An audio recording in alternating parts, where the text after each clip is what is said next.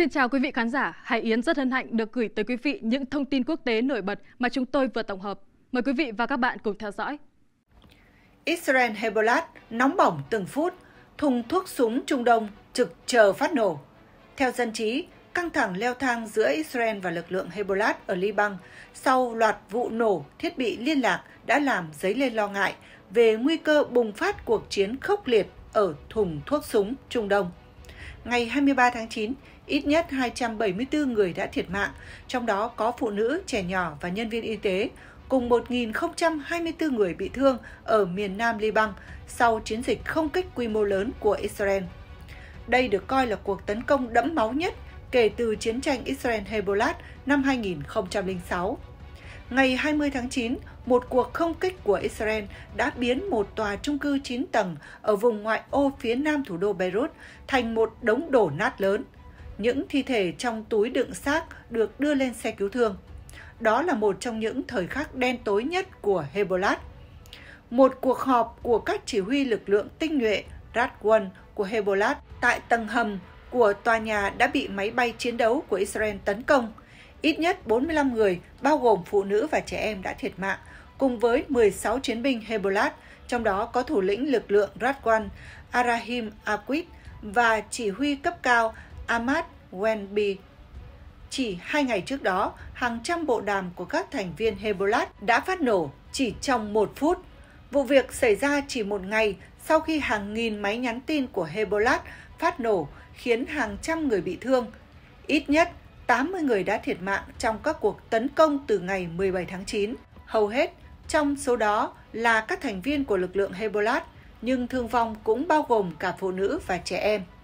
Theo CNN, Hezbollah, một trong những lực lượng vũ trang phi nhà nước lớn nhất thế giới, đang trao đảo vì đòn tấn công lớn nhất từ trước đến nay nhằm vào cơ cấu quân sự của phong trào này, cũng như sự xâm nhập nghi do Israel thực hiện vào hàng ngũ và hạ tầng liên lạc nội bộ trong lịch sử hơn 40 năm của Hezbollah. Các nguồn tin an ninh Liban tiết lộ, việc xâm nhập vào hạ tầng nội bộ Hezbollah đã tạo điều kiện cho những đòn tấn công liên tiếp nghi do Israel thực hiện trong tuần này và gieo rắc sự hoảng loạn trong nội bộ Hezbollah. Trong cuộc họp báo vào ngày 21 tháng 9, Bộ trưởng Nội vụ Liban Bassem Maliwi tuyên bố tình hình hiện nay rất nghiêm trọng và Liban đang bị Israel xâm phạm.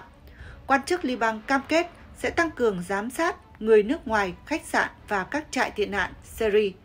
Hỏa lực của Israel đã tấn công Hezbollah đến tận căn cứ của nhóm, tấn công cả các chỉ huy của lực lượng này. Khi bị suy yếu về mặt quân sự và bị tước bỏ lớp áo bí mật, Hezbollah đã đến giai đoạn nguy hiểm nhất trong cuộc chiến kéo dài hàng thập niên chống lại Israel. Hezbollah từng hy vọng rằng các cuộc tấn công với cường độ thấp ở biên giới Israel sẽ giúp lực lượng Hamas củng cố vị thế trong các cuộc đàm phán, nhưng lệnh ngừng bắn ở Gaza dường như khó nắm bắt hơn bao giờ hết. Giờ đây, cuộc đối đầu cường độ thấp giữa Hezbollah và Israel đã leo thang thành một cuộc đối đầu mới, thậm chí buộc nhóm chiến binh Liban phải trả giá đắt. Cuộc xung đột có thể đưa thùng thuốc súng Trung Đông, khu vực vốn tiềm ẩn nhiều bất ổn và tranh chấp, đến gần hơn với bờ vực của một cuộc chiến thảm khốc. Phát biểu tại lễ tang ông Arahim Aqi, một thành viên cấp cao của Hezbollah mới thiệt mạng do cuộc không kích của Israel, Phó Tổng thư ký Hezbollah Naim Qissem ngày 22 tháng 9 lên án Israel đã phạm phải tội ác chiến tranh khiến chúng tôi đau đớn và kết quả là một trận chiến không giới hạn đã bắt đầu. Chỉ huy cấp cao của Hezbollah tuyên bố một chương mới đã mở ra trong cuộc đối đầu với Israel. Đòn trả đũa của Hezbollah vào dạng sáng ngày 22 tháng 9 dường như là cuộc tấn công mạnh mẽ nhất của lực lượng này kể từ khi các cuộc giao tranh tại biên giới Israel-Liban bắt đầu nổ ra vào tháng 10 năm ngoái. Hezbollah cho biết đã nhắm mục tiêu vào căn cứ không quân Ramat David ở đông nam Haifa và khu công nghiệp quân sự Rafah phía bắc Haifa. Đây là một trong những đòn tấn công mạnh nhất của Hezbollah vào Israel kể từ cuộc xung đột toàn diện gần đây nhất giữa Liban và Israel nổ ra vào năm 2006. Hezbollah cũng cho biết đã sử dụng tên lửa tầm trung mới có tên gọi Fadi 1 và Fadi 2. Nếu thông tin này đã chính xác, đây sẽ là một trong những lần đầu tiên Hezbollah sử dụng vũ khí ngoài kho vũ khí tầm ngắm của lực lượng này để tấn công Israel. Hezbollah hy vọng sẽ khôi phục một phần sức mạnh gian đe của mình và buộc Israel phải chấm dứt chương mới trong cuộc chiến chống lại Hezbollah. Vài ngày trước cuộc không kích của Israel vào hôm 20 tháng 9, thủ lĩnh Hezbollah Hansam Nasrallah tuyên bố các cuộc tấn công vào các thiết bị liên lạc không dây là hành động chưa từng có và nghiêm trọng. Ông dường như thừa nhận rằng Hezbollah đã thua trận chiến này nhưng không phải là thua toàn bộ cuộc chiến. Những người ủng hộ Hezbollah đang tỏ ra can đảm. Chiến tranh là một trận đấu quyền Anh. Một ngày bạn thắng, một ngày khác bạn thua. Chúng tôi mạnh mẽ trong đức tin của mình. Tất cả chúng tôi đều sẵn sàng đổ máu vì thủ lĩnh Naralat. Một người nói khi tham dự lễ tang của ba chiến binh Hezbollah thiệt mạng trong cuộc tấn công hôm 20 tháng 9.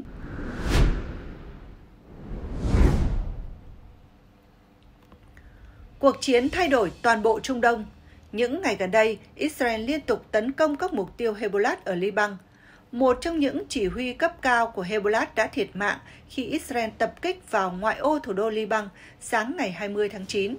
Một ngày sau đó, Israel tiếp tục nhắm vào hàng trăm mục tiêu liên quan đến Hezbollah tại Liban, phá hủy hơn 100 bệ phóng tên lửa của lực lượng này.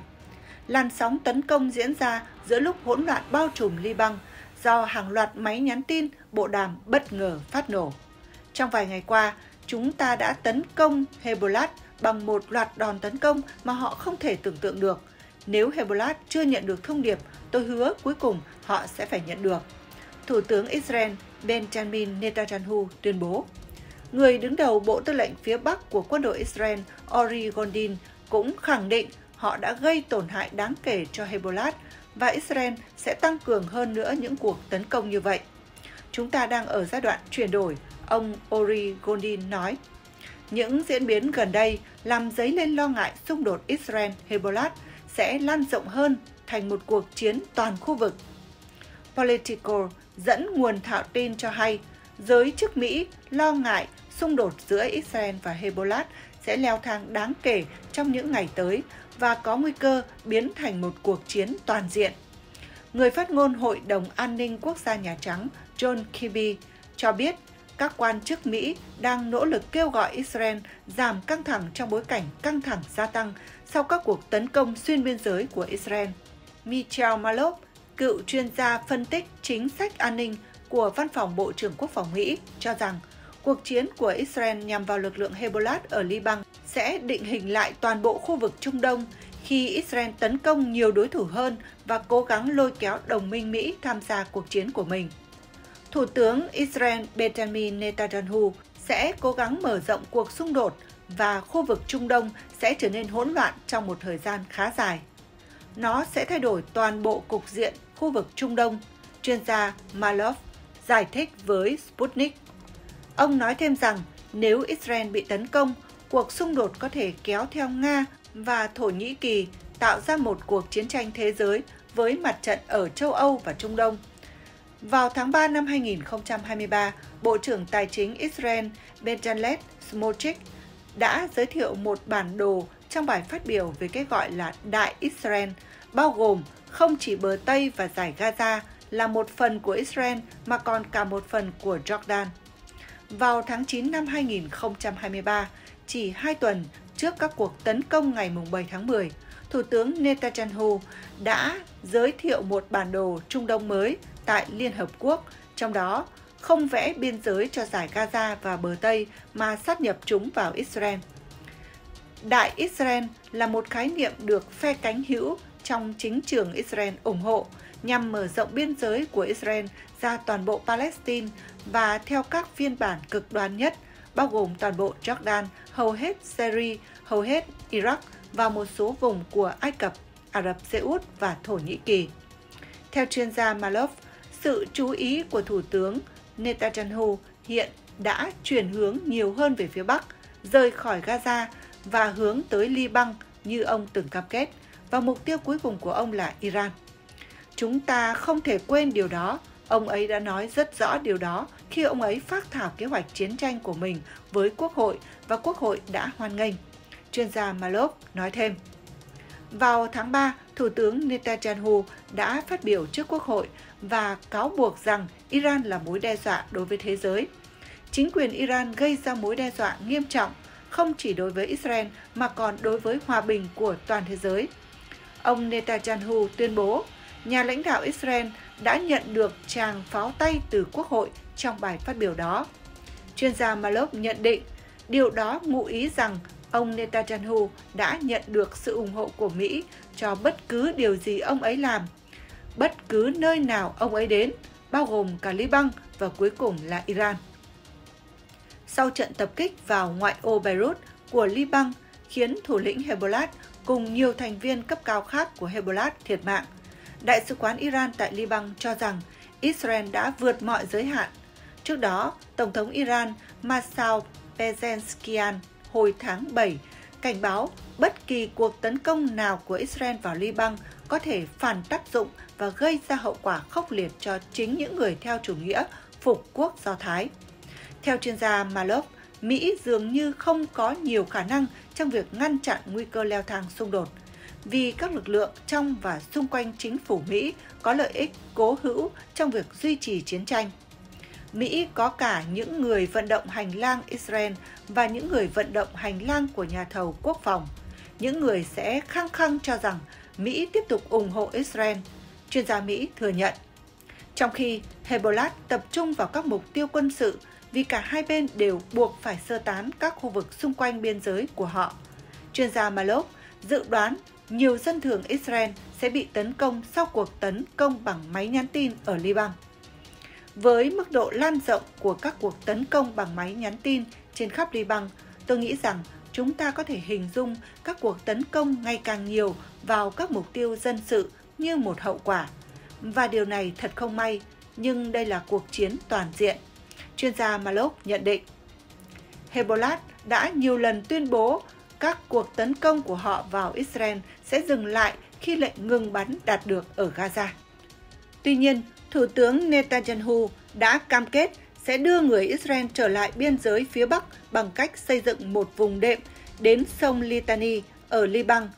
Nhưng điều đó sẽ không xảy ra, Hezbollah sẽ không đồng ý với điều đó. Họ sẽ đáp trả bằng cách biến miền Bắc Israel thành nơi không thể ở được, chuyên gia Malok giải thích. Cuộc chiến này sẽ mở rộng theo từng đợt, sẽ không chỉ có Hamas tiếp tục trên mặt trận này, mà khu vực bờ Tây đang bị tranh chấp. Sẽ có chiến tranh du kích ở đó, sau đó sẽ đến Syria và Iraq, nơi cũng sẽ tham gia cùng Liban và Yemen, cuối cùng là Iran, chuyên gia Malov dự đoán. Theo chuyên gia, lực lượng các nước trong khu vực bắt đầu thực hiện nhiều cuộc tấn công phối hợp hơn. Yemen sẽ sử dụng vũ khí siêu vượt âm đó là lý do tên lửa không thể bị đánh chặn, chuyên gia Malov nói. Theo chuyên gia Malov, Mỹ dường như không chuẩn bị và có lẽ sẽ không bao giờ có thể chuẩn bị cho một cuộc chiến lớn như vậy, mặc dù trước đây và hiện tại họ vẫn kiên định ủng hộ Israel. Tôi nghi ngờ rằng theo thời gian, người Mỹ sẽ mệt mỏi với điều này. Làm sao Mỹ có thể tiếp quản toàn bộ một khu vực với sự bế tắc và cam kết mạnh mẽ như vậy? chuyên gia Malop đặt câu hỏi. Theo nhà phân tích Ishaan Tarok của báo Washington Post, các cuộc tấn công ở Liban đã giáng thêm một đòn vào những nỗ lực của Mỹ nhằm giảm căng thẳng trong khu vực và sẽ đưa khu vực Trung Đông đến bờ vực của một cuộc chiến tranh quy mô lớn. Israel, đồng minh của Washington, đang ngày càng thách thức nỗ lực của chính quyền Tổng thống Mỹ Joe Biden nhằm hạ nhiệt căng thẳng ở Trung Đông.